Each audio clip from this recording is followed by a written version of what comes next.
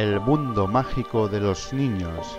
Cuentos de fantasías poéticas.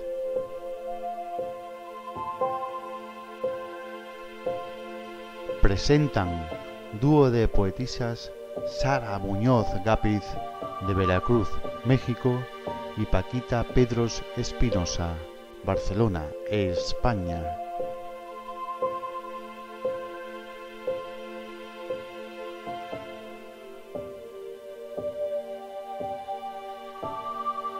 El mundo mágico de los niños, cuentos y fantasías poéticas. Sara Muñoz, mexicana del pueblo de Veracruz, Boca del Río, te trae su primer libro de cuentos, firmado bajo el seudónimo de Saraidelina.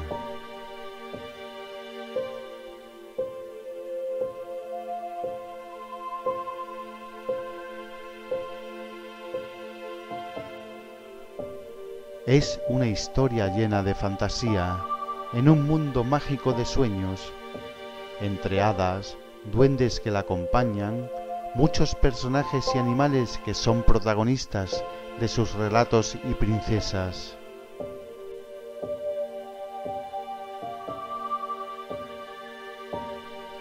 En cada fábula que escribe, emerge esa niña expresando todas sus fantasías y sueños.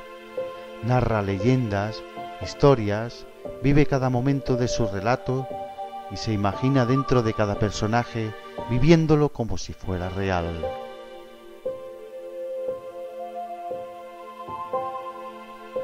Son cuentos escritos por Sara Idelina, con los que, al pasar sus páginas, tus ojos se inundarán de magia y, en cada relato, dejarán volar la imaginación de los niños pequeños y grandes del mundo, colmando sus corazones de ilusión y fantasía con los que quedarán encantados viéndose reflejados en ellos.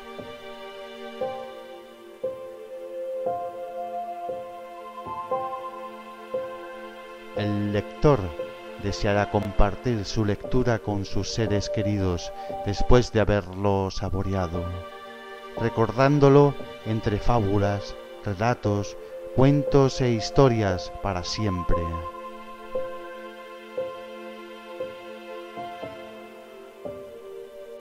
Un mundo mágico que nos hará volar por los sueños haciéndonos recordar que alguna vez también fuimos niños.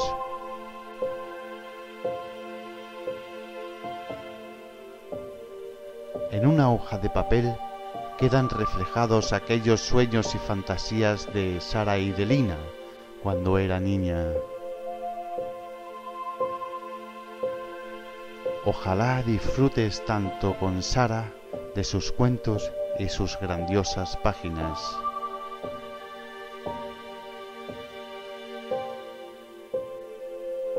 El mundo mágico de los niños, cuentos y fantasías poéticas.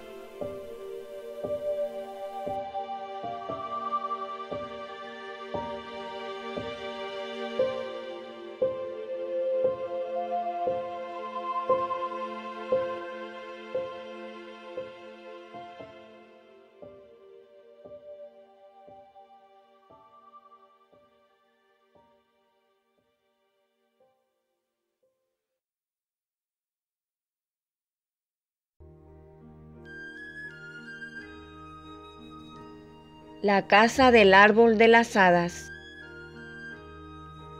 Había una vez una casa del árbol muy hermosa que estaba en un bosque llamado el bosque de los encantos.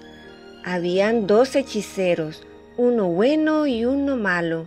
Las hadas cuidaban todos los animales y su árbol mágico.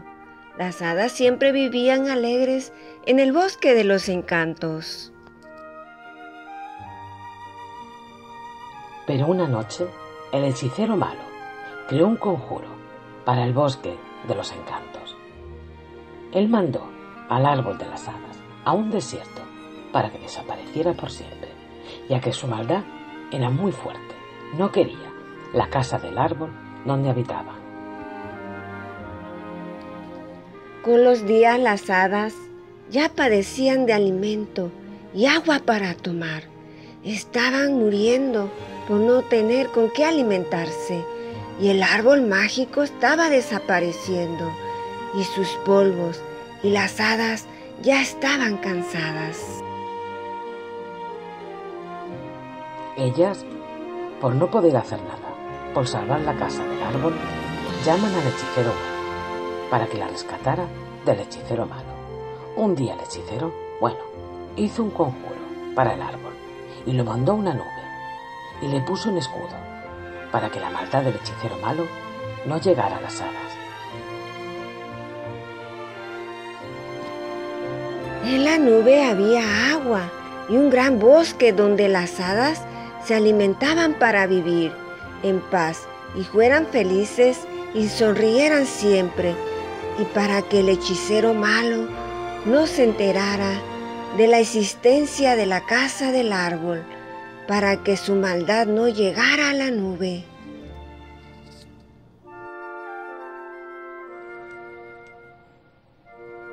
Así las hadas vivieron por años en la nube cantando y felices, donde todo era mágico. Años después, el hechicero malo murió y todas las hadas se enteraron de que ya podían regresar al bosque de los encantos. Donde pertenecía la casa del árbol y las hadas muy contentas, pues ya no tenían que vivir en la nube por siempre, ya que eran libres por el malvado hechicero.